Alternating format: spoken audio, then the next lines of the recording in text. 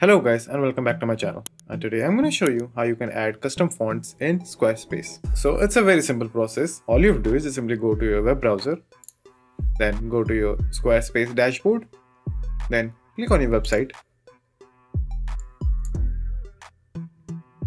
Now when you're in your website, just simply click on design over here and after that click on custom CSS.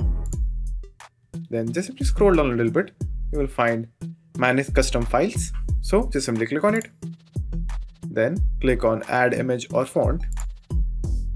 Then go to the location where your font is saved. Then double click on the font. Now wait for a few seconds until it is uploaded. Now after that just simply paste the few codes given in the description box below now, after you have pasted the set of codes, where it is written name, just simply enter the name of your font which you are using. So just simply enter the name of your font.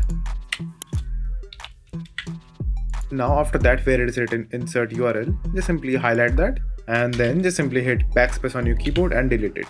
Now, for entering the link, what you have to do is just simply go to manage custom files and click on your font over here and the link will be automatically pasted over here. So after that again just simply click on this blank page and now we have successfully added our font to our website. Now it is time to add the font to various styles like headers, paragraphs, etc. For actually changing the font, what you have to do is just simply go to a new line and again just simply paste the codes given to you in the description box below.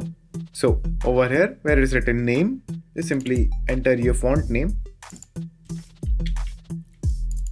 And the moment you enter the font name, the font will be changed as you can see over here.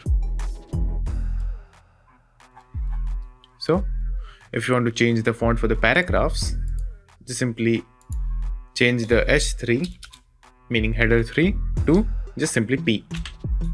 Then again within a few seconds your font will be changed as you can see right over here. So you can do the exact thing for buttons as well.